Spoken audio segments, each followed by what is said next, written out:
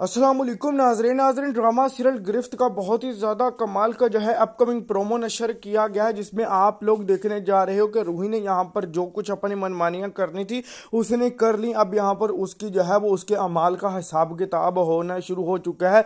वो अपने अंजाम तक पहुँच रही है और नाजरीन, यहाँ पर वो पानी पी रही होती है किचन में और नाजरीन, वो एकदम से पीछे देखती है कौन खड़ा हुआ है, जिसके बाद वो देखती है कि मूसा खड़ा हुआ है, उसके हाथ से जो है वो गिलास गिर जाता है।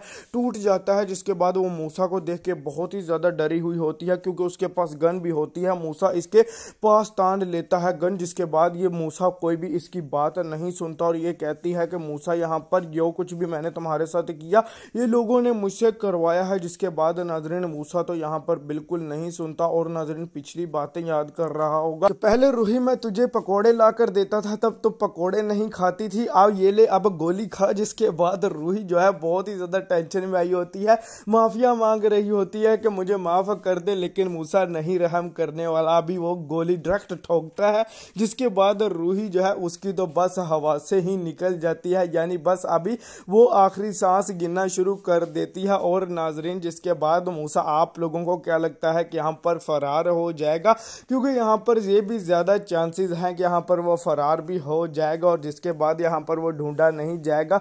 यहाँ पर ये जो है, अब पहुँच जाएगी। वो जो हॉस्पिटल में इसे जल्दी से लेकर जाया जाएगा और इससे पूछा जाएगा कि तुम तो मरने वाली हो, लेकर रहान का तो बता दो और इसके साथ साथ यहाँ पर बाकी लोग खुश हो जाएँगे काफ़ी ज़्यादा कि यहाँ पर रूही जो है फाइनली मरने जा रही है और इसकी शायद हम लोगों को अब माँ की भी एंट्री दिखाई जा सकती है।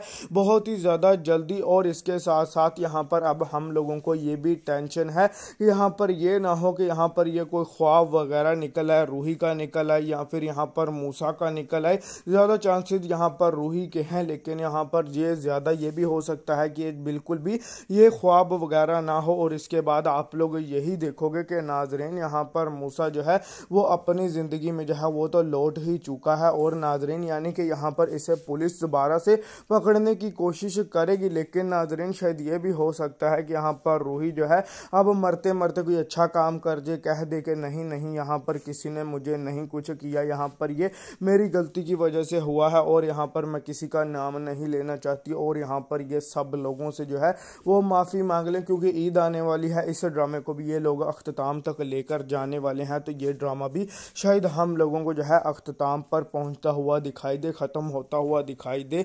और आप लोगों में से कितने ज़्यादा सेटिस्फाइड लोग हुए हैं कि रूही को गोली लग जाए तो फिर कैसा लगेगा आप लोगों को? ज़रूर से कीमत के साथ कमेंट सेक्शन में कीजिएगा। वीडियो चल किसी लाइक कर देना। ये थी मेरी परीक्षा वीडियो के आज को सिर्फ़ अल्लाह हाफिज़।